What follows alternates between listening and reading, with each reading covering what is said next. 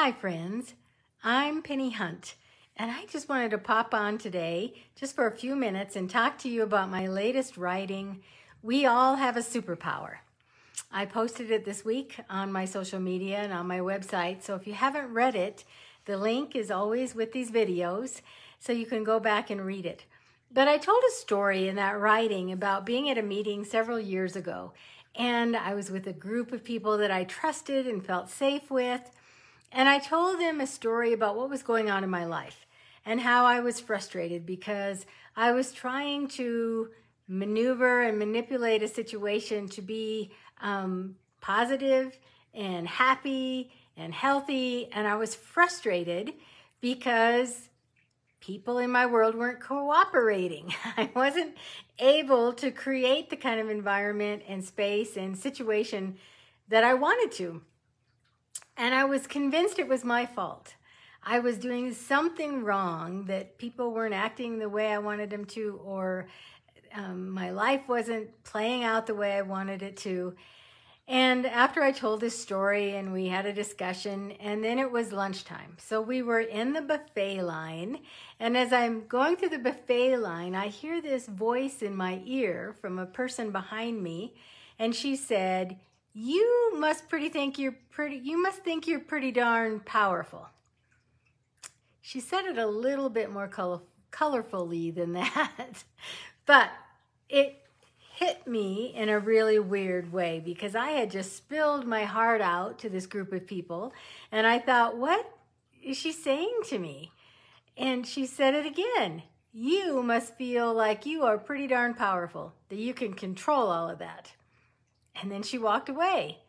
And I remember taking this big scoop of potato salad and plopping it on my plate with no intention of eating it because I'm not even a big potato salad fan. And I just did it out of, because I wanted to get out of there. I wanted to take my plate and go sit at a table and get away from her. And I thought, that was just rude. That was rude. How could she say that to me? What does she mean by that? Didn't she just hear my big long story I told? And I was really pretty upset until I started thinking about it. And I realized she was 100% correct. That I thought I could control everything. I thought I could control the reaction of other people. I thought I could control a situation that really was not mine to control. When I realized that, my anger subsided a little bit and I thought about the gift she had given me of making me realize I didn't really have all that much power in this situation. But it also made me realize that we do all have a superpower. We really do. We have a superpower of controlling our emotions, controlling the way we look at life, controlling about how we project love and happiness and positivity and kindness. And by doing that, it will magnify and multiply in our life, and others will treat us that way, and it will just spread out into the world and the universe. We all have that superpower. And what's unfortunate right now is many people are using that in a negative way. Many people are using that same superpower, but they're projecting anger and resentment and hate and all of this um, division about anything, whether it's in their family or in the world or in politics. And that superpower is playing out in a negative way. So if we think about the superpower we have to control our emotions, how we can project our emotions and feelings, how that will um, be accepted by other people, and hopefully they will project in the same way. And that is the superpower we hold we really can't control other people.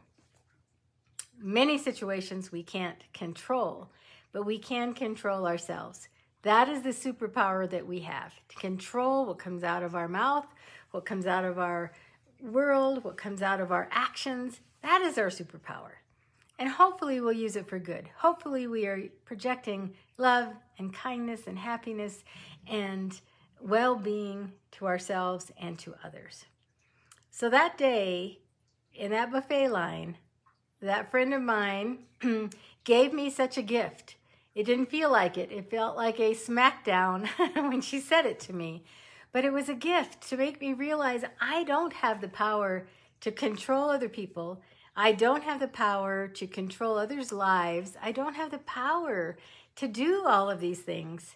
The only power I have is in me, how I act, how I think, how I feel, and how I project things. So thank you, friends, for signing on. I see you there. I know I haven't been on for a while. I have been super, super busy. So I'm hoping to get back in the routine of doing some of these lives. I'm posting another new writing um, in the next few days. So I'll be back to talk about that one. In the meantime, think about what your superpower is. And if you haven't read the writing, the link is here. So read it, tell me what you think, tell me what your superpower is, and Spread that joy and happiness and kindness to someone before the day is over. You've got time. I'm Pennie Hunt. This has been Pennie Heart to Heart. Thanks for watching.